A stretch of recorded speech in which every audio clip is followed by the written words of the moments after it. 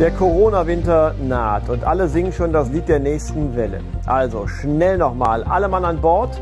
In der Seniorenpflege hat man besondere Sorge und so will man den Menschen nochmal was Schönes bieten. Jetzt live aus Bonn. Ihre Lokalzeit mit Ralf Henscheid.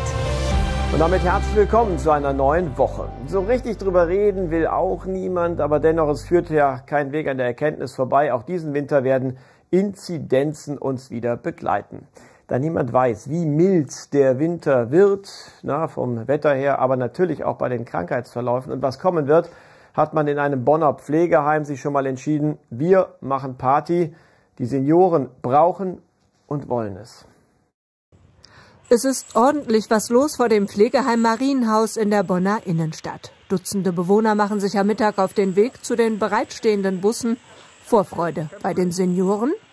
Das Schiffchen fahren auf dem Rhein. Halten Sie sich da gut fest und dann hoch. Und ein Organisationskraftakt für die Pflegedienstleiter. Drinnen müssen auch wir den Corona-Test vorzeigen, unsere Namen angeben. Nach wie vor gilt, dass jeder Heimbesucher ein Testergebnis mitbringen muss, das nicht älter als 24 Stunden ist. Wenn jemand keinen Test mitbringt, dann machen wir nach wie vor den Test unter Anleitung, mhm. ja, den Selbsttest. Der Heimleiter kann die Bestimmungen längst runterrasseln, wenn am Empfang neue Mitarbeiterinnen übernehmen. Noch ist der Krankenstand niedrig. Alle Bewohner negativ, zwei Pfleger haben Corona. Ob das schon der Anfang einer neuen Welle ist, sie wissen es nicht. Wahrscheinlich auch nicht anders als in anderen Häusern. Ja, wir haben immer wieder mal personelle Ausfälle durch Corona. Äh, klar, wir gehen auf die Kollegen zu und fragen, wer einspringen kann, ja, wer die Kraft dafür hat, einzuspringen.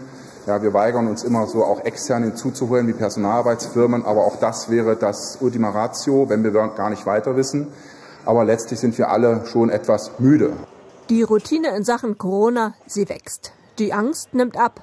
Dass der traditionelle Schiffsausflug vom Bonner Stadtsoldatenchor startet, in diesem Jahr ist das keine Frage. Aber die Erschöpfung beim Personal, die nimmt nach fast drei Jahren Corona immer weiter zu. Manche Pflegekräfte sind noch Wochen nach der eigenen Erkrankung matt. Dennoch sind alle entschlossen, so viel Normalität und Zusammensein zu ermöglichen, wie es geht. Ganz ehrlich, wer hat mal die Senioren gefragt? Ja? Und äh, wenn man die Senioren fragt, die möchten leben. Die möchten ihren Lebensabend lebenswert genießen und nicht in der Einsamkeit sitzen. Das sehen alle, die wir an Bord fragen, genauso.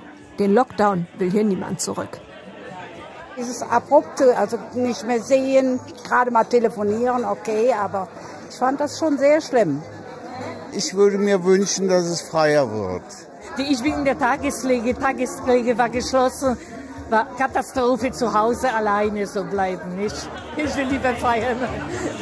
Schon kurz nach dem Ablegen ist die Tanzfläche voll. So soll das Leben selbst bei steigenden Inzidenzen bleiben, sagen sie hier. Es gilt wohl, die richtige Balance zu finden im dritten Pandemiewinter.